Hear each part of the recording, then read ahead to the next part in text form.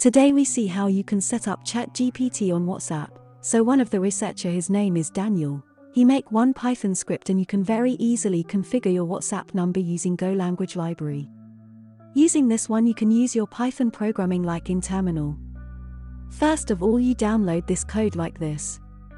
I already download this code in my personal computer in specific location here, WhatsApp GPT main, and I execute this one here, simply you need to execute this server.py file.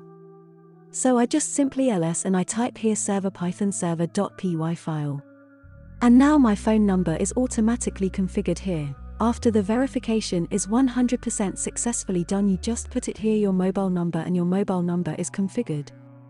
Now you will see two mobile screen. Now my mobile screen I just simply open here my WhatsApp and look at this here.